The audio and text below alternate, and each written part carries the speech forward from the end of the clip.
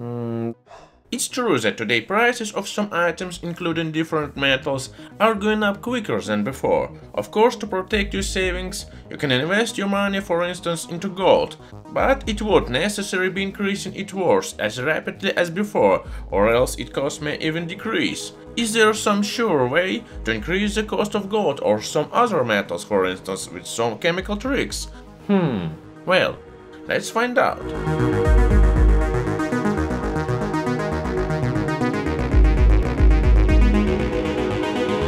Before talking to you about gold, I would like to consider some other chemicals first, which can cost hundreds and even thousands of times more than the chemical elements they were made of.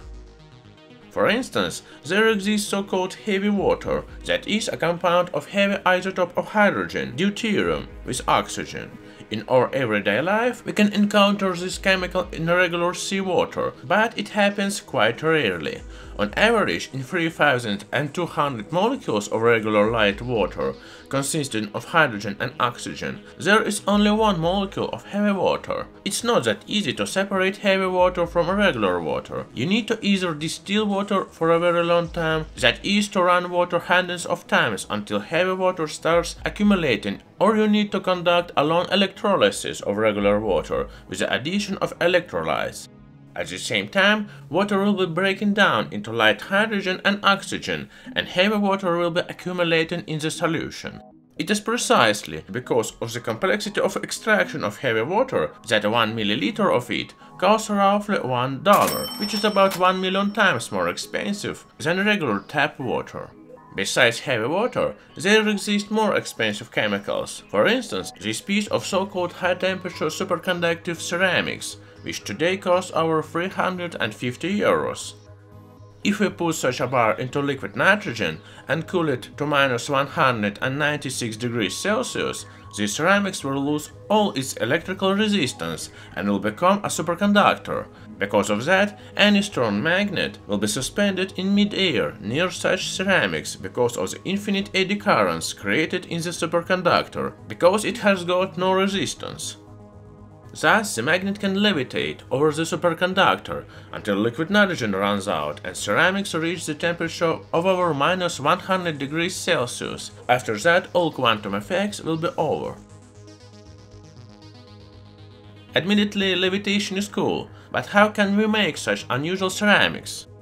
To do that, we need to take several initial reagents, for instance, an oxide of such a rare earth metal as yttrium, it doesn't cost much, about 45 cents for 1 gram. Besides, you'll also need barium nitrate, which is also quite cheap, and little bit of copper, and also nitric and citric acids. To synthesize some superconductive ceramics, I took a little bit of yttrium oxide and dissolved it in an excess of concentrated nitric acid. Besides, because at a low temperatures yttrium oxide doesn't dissolve well, I added bits of pure copper into the beaker. After that, copper immediately began to dissolve in nitric acid, thus heating up the mixture and helping yttrium oxide to better dissolve in the acidic medium of the solution at the same time creating copper and yttrium nitrates. After dissolving copper and most of the yttrium oxide, I'm heating up the mixture in a magnetic stir and adding barium nitrate to the solution. After that, I'm adding a little bit of water for all the components to dissolve well. Lastly, I'm adding some citric acid, and after that the color of the solution is changing to more bluish. Now what's left to do is to evaporate the leftover water from the solution, and to wait until all the nitrates in the solution start reacting with the citric acid, starting so-called pyrosynthesis. During this process, there will be forming a mixture of yttrium, barium and copper oxides from a mixture of nitrates of different metals, abbreviated YBCO. The process is really unusual and impressive. Still, after synthesis, the obtained mixture doesn't really look like superconductive ceramics. To make a superconductor from this mixture of oxides, first it needs to be crumbled, pressed and baked in a muffle furnace with the addition of oxygen. Besides, baking needs to be done with lowering of the temperature in order to create the needed crystals of the certain size and chemical composition, giving ceramics those very superconductive properties. And if everything is done correctly, then you can get a piece of high temperature superconductive ceramics from 160 grams of reagents, costing just $17, which will cost 20 times as much. Of course, technologies and equipment are needed, but I think if such superconductors are mass-produced, then they will quickly recoup. Besides, today there is a great demand for them. Their use ranges from magnetic trains to superconductive wires in particle accelerators. Besides synthesis of ceramics, which requires a good command of physics and chemistry, you can also synthesize simpler chemicals, which are also highly profitable. For instance, you can synthesize gold compounds. Nowadays, the market price of gold is high as never before, which is why many people are buying lots of it in order to protect their savings or buy gold generally. However, nowadays there are also other reasons to use this metal besides its beautiful look and resistance to corrosion. Nowadays, roughly half of all mined gold is used in the industries of advanced technologies. For instance, gold is used to make terminals of computer circuit boards, which are resistant to oxidation, or for making COVID express tests with gold nanoparticles, which are very popular these days. That is why besides gold itself, today reagents containing gold are deemed valuable too. To make gold compounds, First, gold needs to be dissolved in something. Most frequently, a mixture of nitric and hydrochloric acid is used, which create what's known as aqua regia, which dissolves bits of gold fairly quickly. As a result, the mixture produces chloroauric acid, which is one of the most widespread gold compounds today.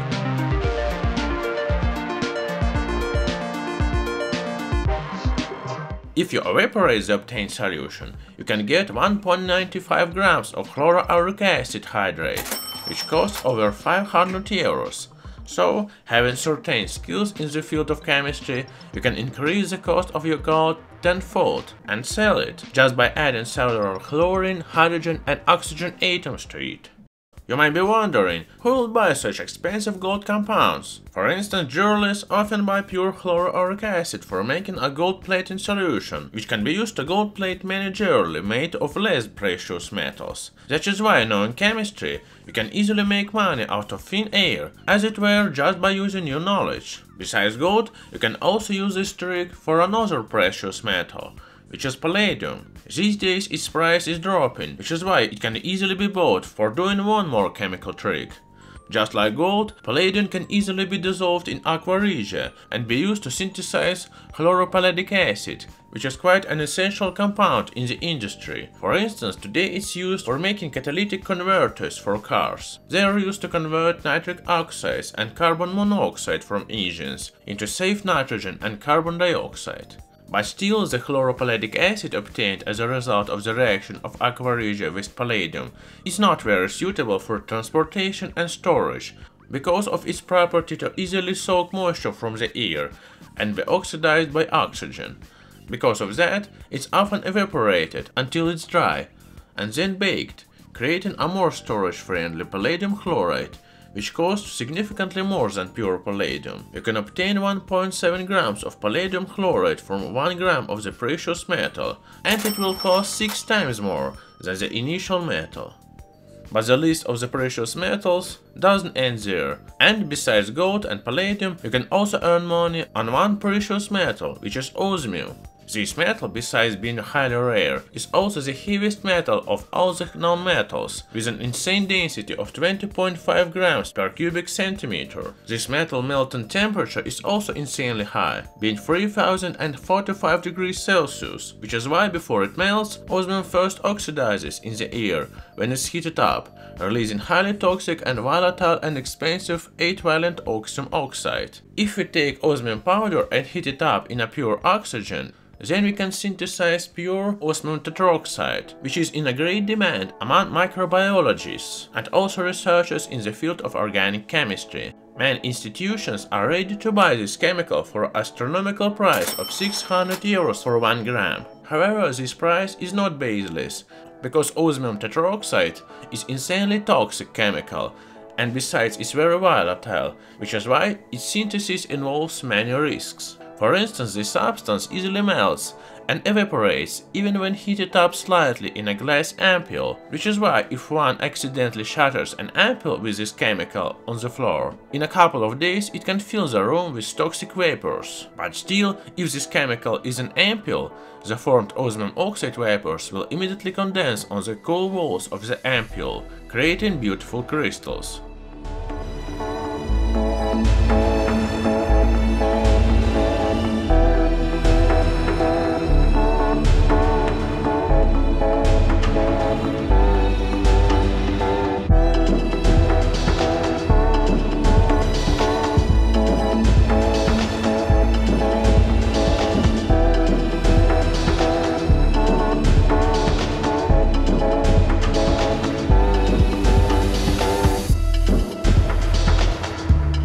Course, it's pleasant to observe such beautiful effects with toxic osmium tetroxide when it is encased in protective glass. Such ampoules are opened only under a powerful fume hood and in gloves. After that, osmium oxide can be dissolved in water and be used to make a solution for dyeing microbiological samples for transmission electron microscopes. Many scientific institutions use such equipment. Yes, as you can see, precious metals can cost several times more as compounds. And at the same time, having lots of super expensive equipment is not necessary. But making and selling of the next chemical requires quite a lot of financial input, for instance a number with 9 zeros. I'm talking about of the production of tritium, which nowadays is used in rather popular keychains, which can glow for up to 15 years without an outside source of electric current. Such a glow is a result of the breakdown of just several micrograms of radioactive tritium pumped into glass tubes coated with a special luminophore film on the inside. When tritium decays, it mainly releases beta particles, and when they collide with lumina, luminophore molecules, they release a light quantum, which depending on the lumina luminophore composition we can observe as glowing of the some form of visible light. Nowadays tritium is mainly extracted from Canadian heavy water reactors, which use that very expensive heavy water as neutron moderators. As a result of the reactor's work, some deuterium atoms can catch neutrons flying at them, forming tritium atoms. But still, synthesis of tritium from heavy water is a rather lengthy and not so effective process, which is used mainly for satisfying civil demands for tritium. For instance, its use in keychains and laboratory research. This is exactly why nowadays 1 gram of tritium costs around $30,000. Besides being used for civil needs, from 2003 to 2006, tritium was also produced for military purposes in nuclear reactors by hitting different lithium isotopes with a stream of neutrons. But evidently because of the some technical problems, its production came to a halt. Well, the time has come to tell you about the most expensive metal which I have ever seen in my life, and which can also be sold for an impressive amount of money, and it will cost 6.5 thousand times more than gold. I'm talking about a rather ordinary element, calcium, which in its pure form looks like shiny metal. But in this ampoule I have one of the most widespread calcium isotopes, which is calcium-40. It's not radioactive, and is present almost everywhere on our planet, which is why it's not that expensive. But there exists one more isotope of calcium, which is calcium-48, and there's just 0.14% of it on our planet. That is why it is extremely difficult to obtain it, especially using expensive magnetic separators, separating different calcium isotopes from each other, atom by atom. This is the reason why this metal's price is astronomical, and 1 gram of calcium carbonate 48 costs $245,000. After running chemical reduction, you can obtain a small piece of metallic calcium 48, 1 gram of which will cost 320,000 euros. This piece of calcium 48, weighing about 150 milligrams, cost like a new Tesla. This expensive isotope is mostly used in research in the field of nuclear physics, because calcium-48 isotopes are rich in neutrons, which makes it useful in synthesis of new elements. For instance, in Germany, scientists have conducted numerous experiments in which they synthesized super heavy elements, which don't occur naturally anywhere on our planet, using heavy ion accelerators and calcium-48 ions. Here in GSI, calcium-48 ions accelerated to 10% the speed of light were used to synthesize a super heavy element called moscovium, which on its alpha decay forms the most expensive element in the whole universe, which is nihonium. One cost of 1 gram of nihonium is almost beyond evaluation and will cost even more than our entire planet if all its elements were sold at some imaginary space market. This is explained by the extremely difficult synthesis of nihonium, because the probability of synthesizing it with an accelerator is extremely small. You can bombard an americium foil with calcium atoms for months, but get nothing out of it. It's a pity that in real life there is no anyone you can sell nihonium to, because it's extremely radioactive and breaks down in just several milliseconds, which is why it can play a role only in fundamental science research as an extremely complex and unusual occurrence. Well, I think after watching this video, you learned about some expensive elements and about how to make and sell gold, costing several times more than the initial metal. And if you like this video, don't forget to give it a thumbs up and subscribe to my channel to see many more new and interesting